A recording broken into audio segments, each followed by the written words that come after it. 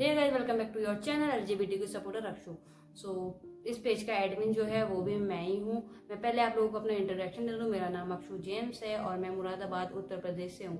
Education की बात की जाए तो मेरी एजुकेशन चल रही है अभी बी ए सेकेंड ईयर है मेरा और यहीं मुरादाबाद से ही मेरा कॉलेज भी चल रहा है। सो so, मैं एक प्रॉपर टॉम्बॉय हूँ मैं आप लोगों को टॉम्बॉय का मतलब बता दूँ। जैसे एक लड़की है पूरा बॉयज़ लुक में है वो उसका बोलना चलना और लाइक फीलिंग्स वगैरह सब बॉयज़ की तरह होती है। उसको ये भी पसंद नहीं होता सामने वाला बंदा जो है हमें गर्ल्स की तरह ट्रीट करे। उससे यही पसंद होता है सामने वाला बंदा जो है वो हमें बॉय की तरह ट्रीट करे। तो उसको बोलते हैं टॉम बॉय सो so, बहुत से कमेंट्स आते हैं ऐसे टॉम बॉयज़ के वीडियोस पे कि ये लेसबिन है ये गे है ये वो है तो मेरी आप लोगों से बस एक ही विनती है, हाथ जोड़ के कि ऐसे कमेंट आप लोग ना करें। अपना मोटिवेशन जितना हो सके उतना दिखाएँ। बहुत से लोग मेरे से बोलते हैं कि भाई इसका कमेंट सेक्शन ऑन कर दो। मैंने हर चीज़ पे कमेंट सेक्शन इसलिए ऑफ़ कर रखा है क्योंकि बहुत उल्टे उल्टे कमेंट आते हैं, फिर मेरे से सब बर्दाश्त नहीं होता। खैर, इस बात को छोड़ते हैं, बढ़ते हैं आगे। मैं अपनी जर्नी की बात करूँ, मेरा एट स्टैंडर्ड था। मेरे को पता चल गया था मैं क्या हूँ, मेरी फीलिंग्स क्या हैं, सब। आया नाइन्थ क्लास नाइन्थ में सब चेंज हो गया स्कूल वगैरह सब चेंज हो गया गर्ल्स कॉलेज में एडमिशन लिया। वहाँ पे भी थोड़ा सा अलग लगा, क्योंकि वहाँ पे फ़र्स्ट टाइम जाते हुए मैं सिविल ड्रेस में तो जाते ही हैं शुरू शुरू में, और वहाँ पे लड़कियाँ एकदम से आ जाती थी कि तुम्हारा नाम क्या है, तुम लड़का हो, लड़की हो। मेरा बस एक ही जवाब रहता था सबसे, कि शायद ही गर्ल्स कॉलेज है तो यहाँ पे गर्ल्स ही होंगी। तो ऐसे करके मेरा कुछ होता था, और ऐसे ऐसे करके लड़कियाँ मेरे पास आती थी, उनका क्रश आता गया तो मैंने सोचा, चलो छोड़ो जो हो रहा है होने दो। उस टाइम मेरे को कुछ नहीं पता था एल के बारे में। आया टेंथ क्लास टेंथ क्लास में मेरे को पता चला कि ये एल कम्युनिटी क्या है, क्या नहीं है, ये सब इसमें कैसे कैसे सेक्सुअलिटी है, ये सब मेरे को पता चलता गया। सो so, फाइनली मेरे को एक अच्छी नॉलेज हो गई। मैंने एक अच्छी नॉलेज गेन कर ली ये की वीडियो से और अपने पीयूष भाइयों की वीडियो से और राजवीर भैया की वीडियो से। तो सो so, आते हैं पेरेंट्स के ऊपर। बहुत से लोगों के मेरे पास मैसेज कमेंट्स वगैरह आते हैं कि भाई आपने हेयर कट के लिए अपने घर वालों को कैसे मनाया? हम अपने हेयर मतलब हेयर कटिंग के लिए अपने घर वालों को कैसे मनाएँ? थोड़ा सा आ, मेरे को बताओ। सो so, मैंने अपने घर वालों को कोई नहीं मनाया बस उनसे मैंने फ़र्स्ट बार मैंने अपनी नानी से बोला था कि मेरे को हेयर कटिंग करवानी है। मेरे एट्थ सेवन्थ एट्थ क्लास तक बाल जो थे यहाँ तक के थे। तो उसके बाद मेरी नानी कर दिया करती थी घर में ही ऐसे ही चलता था।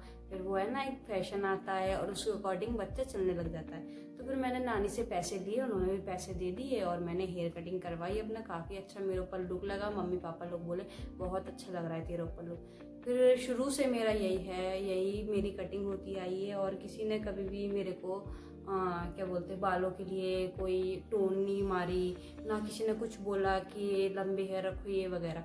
बाहर बोलते तो बाहर बोलने वालों के लिए तो सबके हमारे पास जवाब होता ही है मेरे घर वालों के पास भी जवाब है। मेरे घर वाले इवन मेरे घर वाले ऐसे हैं अगर मुझे कोई बाहर जज भी करेगा ना उनके सामने वो उसको सुना देते हैं कि हमारा बच्चा है हम उसको रख रहे हैं जैसे रखे हमारी मर्ज़ी ऐसे करके। सो so, इस चीज़ में मेरे घर वाले बहुत सपोर्टिव है बहुत ही ज़्यादा। मेरी मम्मी तो कुछ ज़्यादा ही है मेरी छोटी बहन।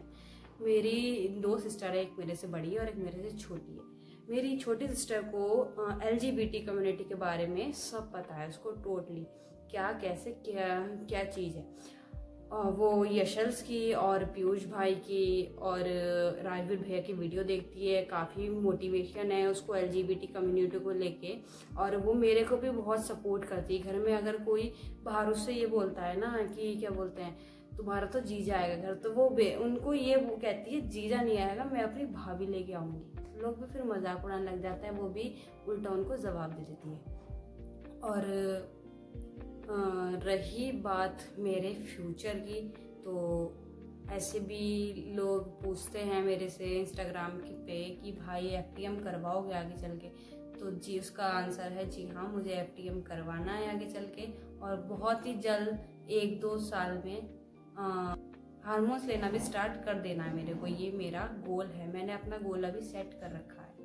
सो so, आगे लाइफ में काफ़ी चेंजेस आएँगे जो आप मेरी वीडियो के थ्रू देखोगे, सब जानोगे और मेरी हर टॉम बॉय से, हर उसके दोस्त से फैमिली वालों से बस यही रिक्वेस्ट है कि जो बच्चा तुम्हारा चाहता है, जो तुम्हारे बच्चे की खुशियाँ हैं, तुम उसको वो दो। समाज की अगर सोचोगे तो बच्चों की खुशियाँ नहीं देख पाओगे। खुशियाँ अगर घर में नहीं होंगी तो कैसा होगा? वो लोग आप जान सकते हो।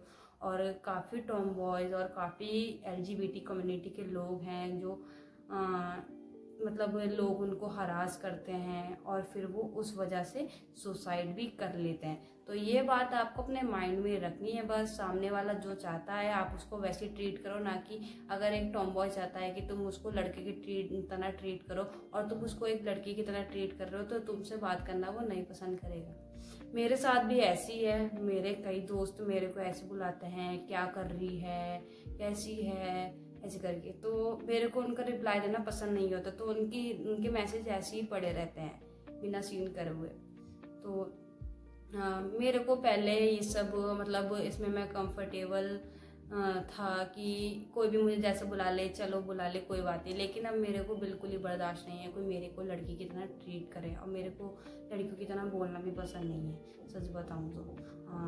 और दोस्तों की बात करी जाए, खैर दोस्तों मेरे बहुत अच्छे हैं और काफ़ी सपोर्टिव है दोस्त। बस गर्ल्स की तरह ट्रीट करते हैं, एक वही आदत है उनकी और वो होप है कि आगे चल के वो सब चेंज होगा मेरी लाइफ चेंज होगी सब कुछ चेंज होने वाला है बहुत ही जल्द। आ, बस इतना सा मेरा मोटिवेशन था।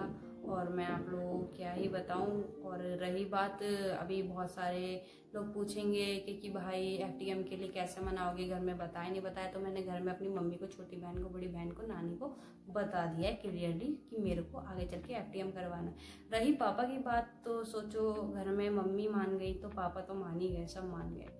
तो ऐसी मेरे कुछ छोटी सी और मतलब छोटी सी मेरी एक स्टोरी है जो कि आप लोग बहुत दिन से मांग रहे थे तो मैंने सोचा, चलो इस टॉपिक पे क्यों ना एक वीडियो बना दी जाए जब सब मांग रहे हैं तो।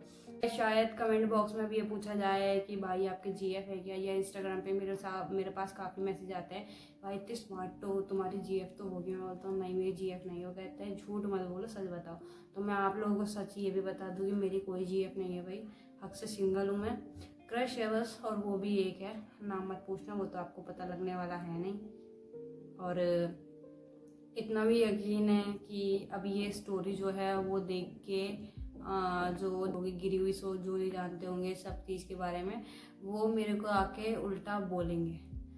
हंड्रेड एंड वन परसेंट वो उल्टा मेरे को ज़रूर बोलेंगे। लेकिन कोई नहीं, आप लोगों के लिए भाई बना रहे हैं मोटिवेशन मेरी वीडियो से। अगर मुझसे मोटिवेशन आप लोगों को मिल रहा है तो उसके लिए मेरे मेरे लिए कोई बुरा नहीं है। मुझे और अच्छा लगता है, और हैप्पी फील होता है। जब बोलते हैं ना लोग कि भाई, अपनी स्टोरी की वीडियो बनाओ, भाई, इस टॉपिक पे वीडियो बनाओ तो मैंने जितना मेरे से हुआ, उतना मैंने आप लोगों को बताया। और मेरा ये फ़र्स्ट वीडियो है।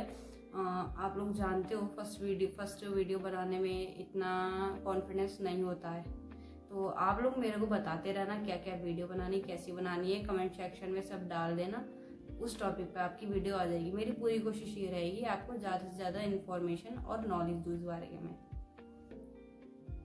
थैंक यू सो मच मेरी यूट्यूब फैमिली का। बहुत बहुत दिल से धन्यवाद। मेरे चैनल पे पूरे ट्वेंटी वन थाउज़ेंड सब्सक्राइबर हो चुके हैं। ऐसे ही अपना आप लोग प्यार बरसाते रहो सपोर्ट करते रहो और मोटिवेशन अपना दिखाते रहो। सो so, चलिए मिलते हैं नेक्स्ट ब्लॉग में तब तक के लिए ओके टाटा बाय बाय